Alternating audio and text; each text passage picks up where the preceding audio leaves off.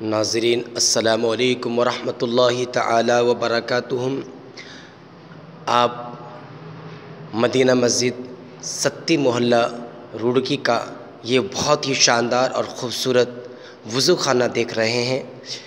اس وضو خانے کی سب سے بڑی خاص بات یہ ہے، اس کے اندر جو ڈیکوریشن ہے، سجاوٹ ہے، وہ بہت ہی اچھے انداز سے کیا گیا ہے۔